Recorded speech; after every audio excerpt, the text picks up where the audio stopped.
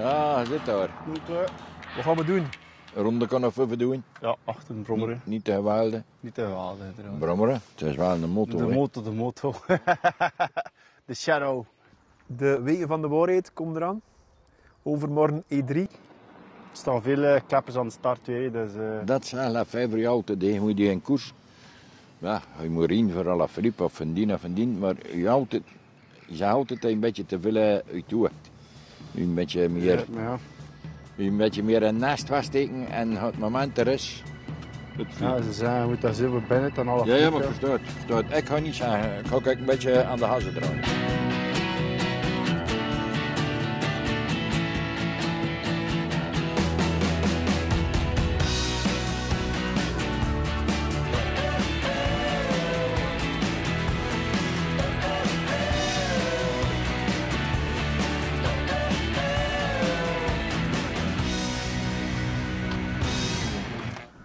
Gasten, ik heb nieuws net binnengekomen.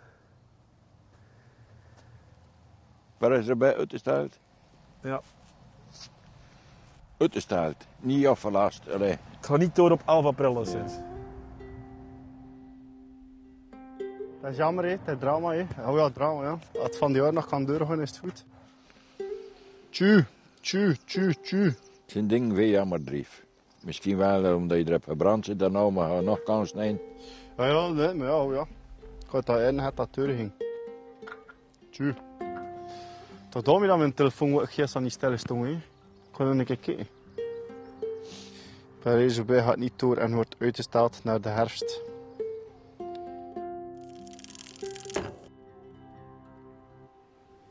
Is wel een goede voorbehoud. Ja, dat zeiden ze wel erbij nu. Ja, maar we zien hè. het is toon dat het zeker geen eh, afstel is. Dat het enkel maar uitstel is. Zo niet, gaan we nu ons best doen in de komende vier klassiekers. hè. Ah, dat moet je sowieso doen, hè, matje. Dat is ook zo altijd. In Harelbeke zijn de renners een half uur geleden gestart in de E3. De wedstrijd wordt na een jaar afwezigheid weer gereden vandaag. Lampietje. Lampietje. Is dat zijn naam? Ik ga een lampje noemen. Ah, Je hebt het karakter van Yves. Ja? Kalm en rustig. Meehouden. ja, ja. En dezelfde dikke bellen. Ja, ja, ja, ja, ja. Lampie. Zij vandaag E3-prijs Harelbeke. Ja. Zie je hem keuren, man? Je, je hebt altijd keur, hè. Maar ze moet uit naar de orders van Van de ploeg. Noto, Noto is baas, hè. Nee, je moet niet wachten tegen Paris Roubaix gaat vandaag kan gebeuren. Alles meepakken wat je de keuren van hebt. Ja. Wat bezig hier? We de koers kijken? Ja, hè. Ja, hé. Nee, lampie.